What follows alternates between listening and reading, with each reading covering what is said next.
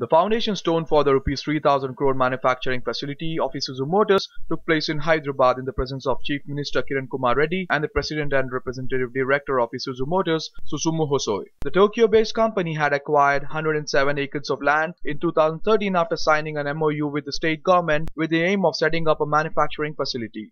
Operations at the new facility are likely to begin from early 2016, which will generate 2,000 to 3,000 jobs. With an initial capacity of 50,000 units per year, Isuzu plans to boost the figures up to 1,20,000 units per year with the help of an accumulated investment of Rs 3,000 crore. The factory will come up in the total area of the land of 107.2 acres. In phase with total capacity of 120,000 units vehicles per year. We will make the factory for production capacity of 50,000 vehicles per year in phase 1.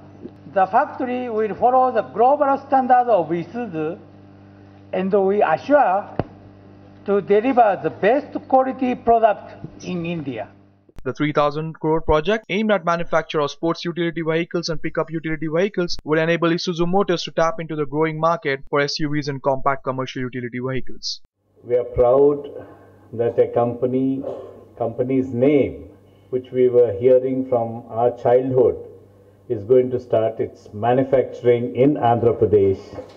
This is our first car company in Andhra Pradesh and we have been trying very hard to get a car company in Andhra Pradesh, but we have not tried for Isuzu. You have come here. We welcome you with, and we, our government is ready to do all help for you to start your production as soon as possible.